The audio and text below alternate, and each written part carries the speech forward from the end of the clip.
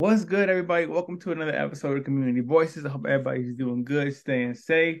Today, we are joined by one of the most promising uh, players on the Minnesota Vikings, uh, cornerback, I believe, as well.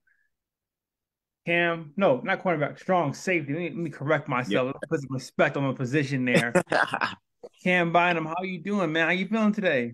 I'm doing great. Uh, I'm in the off-season grind, feeling good, a little tired, but back here. And yeah, thank you for having me on. Of course, we appreciate you joining me. Like I said, even though it's the off season, it's your time to relax. I know there's still a lot going on, like you said. So I appreciate you cutting out some time for us.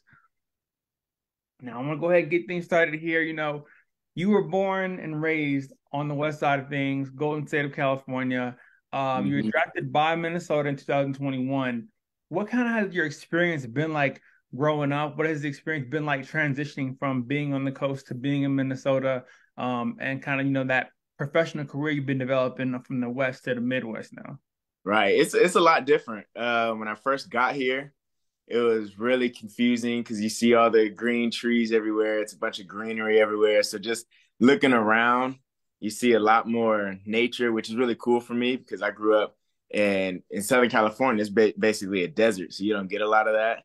So uh, really, the scenery was different. Then also, I'm a beach. I love going to the beach. I love being in the water and chilling in the hot weather. And obviously, you you hear about Minnesota, you know, instantly think about you think about the snow. That's the first thing that pops in your head when anybody mentions Minnesota. So um, it was a big transition for me my first year, figuring out how to live in the snow, how to drive in the snow. That's a whole nother issue. But uh, right now, going into my third year, used to it now. It feels like home out here for me. So um, I, am a homebody anyway, so I really can't go wrong where, wherever I'm at. So I'm enjoying it. Um, but you know, always missing California, missing the sun and the beaches out there. I love that, and it's kind of cool because you kind of get the best of both. I mean, you really do get the best of both sides. When it gets too crazy in the winter, you can always possibly go back home and get some of that. You know, what I'm saying sun, sunny, like sun weather. But then at the same time, we got lockdown there, so I, to- I totally get that. I'm from Texas originally. I mean, oh, yeah. You know exactly learning how to drive in the snow, it's a different kind of beast. Yeah, you know exactly what I'm saying. Yeah, it's it's different, but it, you start to enjoy it after a while, and you get used to it and realize, okay, it's it's always it's cool, but once once the winter goes a little too long, I'm like, all right, I'm out. Especially in the off season, I'm like, especially this year, it was uh, I think it snowed until like middle of April. When I came back um, to OTAs this this time around, I didn't check the weather, and I'm coming from the Philippines where it's hot. It's hot out there. I didn't check the weather. I came here and it was snow on the ground. I was like, what is going on? so it was confusing. Oh man, that's so wild. Now you said talk about the off season, but you know, I know NFL it'll be August won't be here before you know it really.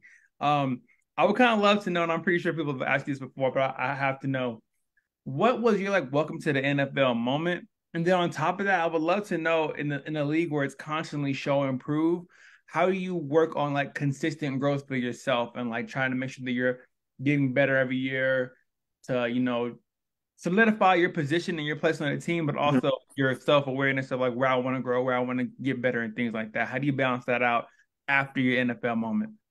Um, I have a few welcome to NFL moments I could think of. First of all, the call I got when I got drafted, and GM told me, "Hey Cam, we're gonna move you to safety." uh, we're drafting you as a safety. And for me, I've played corner my whole life. So you went wrong when you introduced oh, yeah, me yeah. as a corner because I played that my entire life until I got to the NFL. So that was really my moment of like being surprised, like, okay, I, I can do it. I'm willing to do whatever because you guys are drafting me. But it was a uh, it was kind of stressful once I got there because I didn't realize how different it was.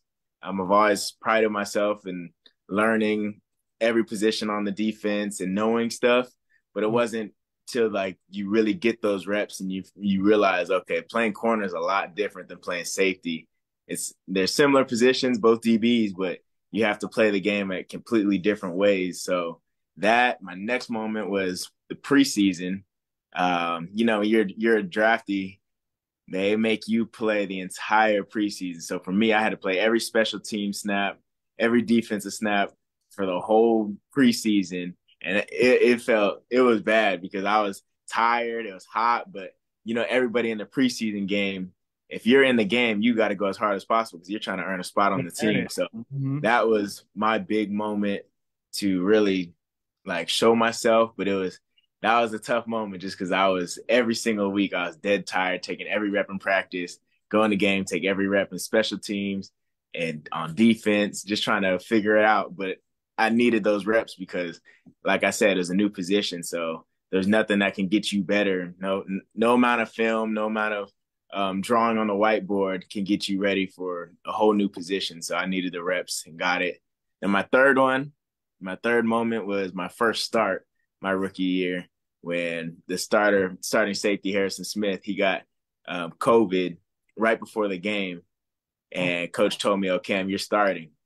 And I, I prepared. I was ready all year, and this was, I think, game 11 or game 12 of the year, and it was against the Baltimore Ravens, and ended up getting my first interception that game. Had 12 tackles, uh, went crazy against. Uh, I, I, picked off Lamar Jackson, one of the best quarterbacks in the league. Yeah, about to say. Uh, that was that was my welcome. Po- that was my positive welcome to the NFL moment, just because that was one of the times where I was like, okay, all this these 10, 12 weeks of preparation of not getting in on defense, but treating every single week as if I'm a starter and I was just thankful that I prepared because I could have I could have easily gone in that moment and laid an egg and, and had no clue what to do if I wasn't preparing that time. So that was my that shifted my mentality even through the rest of my career, even on to the next question that you said, how do you stay ready? Is and with knowing that it's always a competitive league, is really you have to stay ready. Just like that moment where I knew that okay, one time I'll get my shot and I have to take advantage of it. I got my shot at that time. And that was my moment to realize, okay, I'm capable, but there's so much more to do. I'm still not the starter. So um, just continue to grind that the rest of that season. Off season came, just worked hard and was ended up starting um, this past season and playing every snap on defense this past season, not missing one play and you just realize, okay, the hard work paid off, but there's still so much more to do, so many more plays to make. So every every day, every every workout, anything I'm doing, my mindset is okay, how how much better can I get today? And knowing that, okay, it's I have a lot of teammates that are gonna compete with me mm-hmm. and compete against me, but we're all here to get each other better. And I, that's one thing I love about having teammates like that. Is everybody's competing, but we're all trying to get each other better. So just knowing, being aware that okay, people are here, everybody's here to take each other's spot. It's healthy competition, but um, you have to realize you need other people to help get you better. So just leaning on the guys around you and just being a good teammate and just grinding as hard as you can is really how you stay on top of your game and just continue to progress and just practice the right way. All the little small things through the process. Continuous progression at every single point. I love that. That's that's definitely a fact there. Now, you know, I'm talking about your NFL career. We're going to talk about some more of the work that you do off the field. But, you know, I'd be remiss if I didn't mention, you know, I have to say congrats. You know, you're a husband now as of March. Yes, be a husband. You know, congratulations on your new marriage, man. Like, I, I just would love to kind of know, you know, you're already stepping into one thing, which is, you know, your NFL career, being an NFL athlete, which in a way is also still new. But at the same time, now you're a husband, so now you're stepping into a whole, you know, different journey of your life, a different chapter mm-hmm. of your life. What does it feel like to, to be stepping into that chapter, to be stepping into that role? Um, I think it's, exciting. Uh, first of all, spiritually, for me to be a spiritual leader in the home uh, with my wife and just serving each other, serving God with our relationship, so other we can um, encourage other people to uh, really just continue to love each other and love, love just spread love overall. Mm-hmm. Um, but really, it's exciting for me the just the concept of marriage that it's a lifetime covenant. It's not. Some people just see it as okay, we just get into something, and if we don't like it, divorce. No, my beliefs are it's it's for life, and for me and our our mentality and our beliefs is it's a covenant between us and God. So just being able to have that mindset that we can we have to serve each other and we get to serve each other the rest of our lives is so much beauty in that knowing that okay you're locked in forever let's see how good we can make our marriage how much we can love each other how much we can help other people through our marriage so i just think there's so many sky's the limit in a marriage because you're that's your teammate that's your forever teammate on mm-hmm. off the field whatever everything you do in life is you're representing each other. Everything you do is for each other. So I I think it's a beautiful challenge that I'm getting to step into, and I'm really looking forward to it. And obviously, it's easy now. I'm in the first few months of it, but um, I really my, our mindset is it's really how much can we serve each other? How how selfless can we be in our marriage? So I think that's the best way to look at it. I love I, I absolutely love that. Somebody who is who is going on two years of being married, you know, that I think you summed up perfectly. Beautiful challenge, and that sounds like yeah. It's difficult, but I mean, when you're with somebody for the rest of your life, you're learning each other. You're gonna have your differences, and you're gonna have your areas of growth.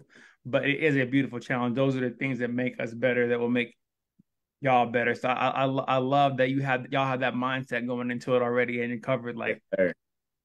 Yeah, that, gotta keep that mindset and just continue to to live it out because it's one thing to say it, but even even when things get tough, that's like I said, it's easy for me to say I'm a few months in, but like you, you're a few. You said two years in. I'm mm-hmm. sure things have been tough, but it's always like okay, all this stuff has built us to love each other more and love other people more. So it's always been it's always been a positive. I'm exactly. sure. Yeah, you got a solid found. That's the foundation you need. That's the foundation we have. So that's definitely a good foundation to build on. Now, talked about that piece of the journey, but we got to also mention the things that you do off the field, um, and continuously for other for other people and for you know just the community in general. Um, before I get into that, of course, as as, as it's being community voices, will be donating AK to the Bynum Faith Foundation. The foundation was established. Those who aren't as familiar, was established to uh, help provide relief from the uh, relief to the Philippines after the devastating earthquake and the tsunami hit 2022. I mean, something that's so much needed. Even though we are in America, we cannot neglect the things that are going on around us and how it can impact and have an effect on the things around us, especially with this being um AAPI month too. I want to make sure we mm-hmm. definitely shed light on that. So also, I was just kind of I want to make sure that you know I, I would love to know, you know, what has your experience been like uh, being able to give back to to you know your people in the community and and, and have an impact, um, you know, on home at home, you know, at the same time, you know, the things that your organization allows you to do, like having trips there, things like that. What has it been like uh, being able to have that impact and doing those kind of things? Yeah, first of all, thank you guys so much for that donation. That's going to change thousands of lives, especially with the dollar being transfer transformed to uh, pesos over there in the Philippines. It's it, the dollar goes a long way and can help so many people. So that donation alone is going to change lives. So I appreciate that. But um, really, uh, for me, I start by just saying it changed my life. Um, as as much as we our goal is to change other people's lives, me being able to go back to the Philippines and seeing what goes on over there, and we don't hear about it a lot. All the typhoons, the earthquakes, um, really everything that comes with being in an island over there. It all happens, and there's so much um, just devastating things that happen over there, and we don't hear about over here. So me being able to go see it firsthand but see everybody's attitude and how grateful they are mm. and just the just the community how how really they have nothing and they're still super happy still joyful grateful for any little thing that changed my life and literally as, as soon as i came back i was like i have no right to ever complain about anything that i mm. have here so just being able to go out there and um, bring uh, relief to the families especially when we went the first time it was for the typhoon victims who lost homes from landslides and complete neighborhoods just completely wiped out and gone. And we're giving them food packs because they, they're living in evacuation centers and seeing how happy they are for a, can of spam or some rice, just little small things like that. Um, cash with 500 pesos, which was is ten dollars here, and they're like acting like they won the lottery, and I'm it just changed my changed my life seeing how much how little you, you can give to somebody and how grateful they are. And out here we we we're so spoiled and not in a bad way. It's a blessing that it's like that and we live in a country that has a lot of our needs, but seeing that seeing other people um, receive things that we think is normal and that those little things change their lives it's it's eye-opening for me and it's just so cool seeing the joy especially on the kids out there just how much um, they can still be joyful after losing their parents, after losing siblings, neighbors, family members, their homes. In a landslide, you can't even tell there's a neighborhood there at one point. because the whole mountain side is gone because of the rain for weeks straight. So it's kind of it's just it it changed my life seeing it and just being able to be a part of helping people's lives and building relationships has really been just huge for me. I love that, and it's, it's so like I said, it's so important. And I know you you touched on it earlier when you say you know it kind of seems like how spoiled we are. Not that it's a bad thing, but you know everything you spoke to speaks to perspective. You know everything that we have mm-hmm. around us allotted to us. You know it makes it, it hinders how we perceive things, how we see things. You know like when we right. we think we don't have something in reality, there are places or people who more like like who really don't have much. You know more more rich in their spirit and finding happiness in the little things they do have than what they don't have. And so just I know as, as traumatic as that is for all parties involved and for everybody, it does like being able to bring back that spirit that like now you can look at your life and the things that you have and the people that you meet and the interactions that you have in a whole new perspective to where if you didn't you you wouldn't have that that tool to to really like you know do the work like that so i, I love thank you for sharing that insight and, and experience from the trip because that's something that's super important and it needs to be heard. Right. Um, I, I want to continue on. I know I want to. I don't want to take up too much of your time on a, on a busy day, so I'm gonna ask you a couple more questions. But I would love to know too, um, with everything going on. I know that you know there's a sports world in the Philippines as well, but it may not be as predominant as like America. Kind of we're, we're driven and run on sports as well. Mm-hmm. Um, I know that from what I understand, you're also going to be building some some resources and camps there, some things to get people, you know, yeah. doing, getting into certain sports and, and, certain activities and things like that, which I think is beautiful. The more escapes and outlets and maybe right. even resources that we can give, um, I think the better. hundred percent. Um, I would just kind of love to know what has that experience been like, getting those kind of things set up um, and you know, like all the intangibles that kind of come with that, like teamwork and trust to create those kind of things. Right. So when I got there in the off season, because I live here, I lived in the Philippines this past off season um, for the whole time. Got married out there, and everything was with my wife over there. So mm-hmm. as I was training and just meeting new people, I met a group of football players out there that are really into football, and they're like know everything. They know more about the NFL than I do, and just picking their brain and talking to them and training with them every single day, I realized how football isn't big out there at all. One, because it's so hot out there and it's not one of the wealthiest countries out there. So football is kind of it's a tough sport because you're wearing all the gear. It's expensive because you need a helmet, shoulder pads, you need a lot of space, a good field. So just small things like that, you need a lot of resources. Mm-hmm. But they told me, then they showed me how big the um, and how much potential the flag football community has out there. So um, after just learning that and seeing that, okay, football is not big out here, but Filipinos love sports. It's all basketball, all boxing. Um, they call it billiards, but pool, um, tennis, volleyball, all those other sports. But I'm like, okay, well, what about football? They're like soccer. I'm like, no, American football. Like that's not nobody really knows what that is out there. So it's been my goal and is my goal eventually to make football a popular and consistent sport out there. So step one of that is we're getting, putting on a like a camp out there in the Philippines this summer, um, June 24th and 25th, where we're bringing some of my trainers from here, my um, Coach Brown, Coach Bankhead.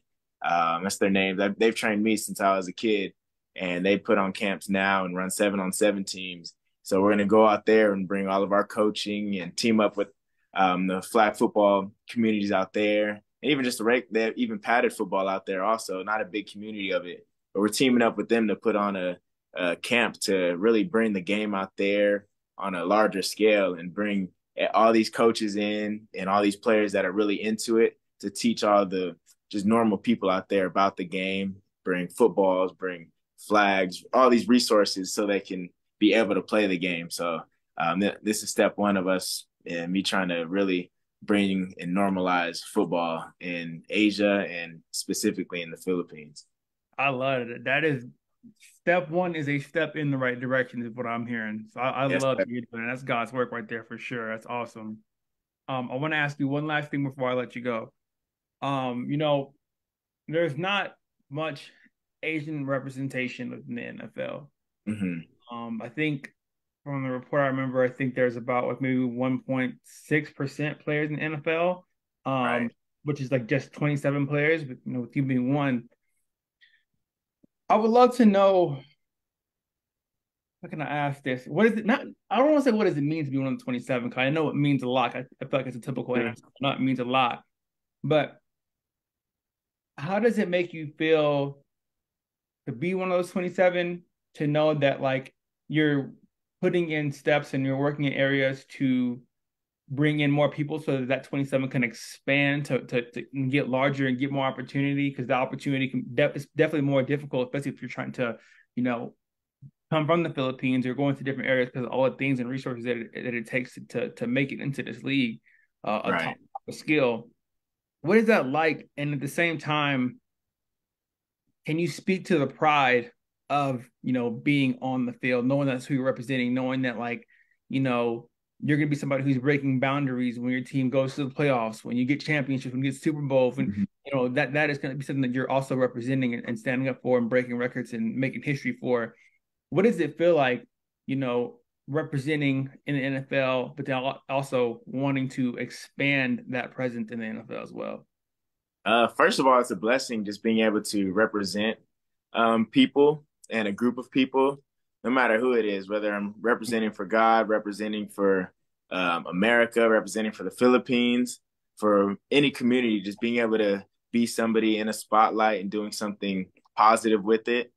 I feel like that's inspiring to people, and I'm grateful to be in a position because I feel like it's my responsibility to do something positive with what I've been given. But being able to, okay, so growing up, and especially now, I've been researching and just going back and watching everything Manny Pacquiao did, one of the mm-hmm. best boxers of all time, and seeing how, how much he meant to the country of the Philippines and just the worldwide. Um, he's one of my biggest inspirations in seeing what he did in the ring, but also, even more so out of the ring. Like it's funny, like just talking to everybody in the Philippines and just seeing their experiences. Like when Manny was fighting, the whole whole country would be put on pause. Everybody stops businesses closed the day of, the day after to watch his fights, and it's like the whole world stopped. Crime crime rates go down to zero during the fights, like some crazy stats like that, and it's just like, okay, he's literally doing a sport he loves, but he's bringing so much positive stuff out of it, and just being an inspiration to people. And you realize how many people start boxing because of him and me trying to bring football to another country and another side of the world and even on behalf of all of us in the NFL, the 1.7% that you brought up, or 1.6%, whatever it is, um, seeing uh, people being able to see, okay, they can do it too. So why don't I try and play football? It's just an inspiration. I feel like that we don't realize how big of an impact that we have on people. Just being able to, like I said, be in that spotlight and doing something positive. And speaking specifically in on in Filipino culture, the support runs so heavily and so deep to mm-hmm. where pe- people are super supportive of me, even though they don't know really know what football is. And it's just eye opening for me to realize, okay, they're just inspired seeing somebody that's Filipino and um, just seeing me being able to do something positive and doing any sport on a professional level. It give they just talk about how much it gives them hope to if if they're playing basketball to try even harder trying to make it with that, or even if they, they're playing football, just seeing, okay, wow, Cam made it, so I think I can make it too. Um, mm. Um, just that little inspiration that change, even if it changes one person's life to to just work harder, try try harder, and just go out of their comfort zone to try and play a sport and really for anything, inspire you with anything. Cause I know Manny Pacquiao, he he impacted my life and just seeing okay he, he did all this had all the success in the ring made all this money but he's he's giving it all back to his communities and paying it forward because like he came from dirt poor nothing and got everything he wanted through boxing became a senator in the philippines ran for president all this stuff just to better the people and i see how inspiring that was to me.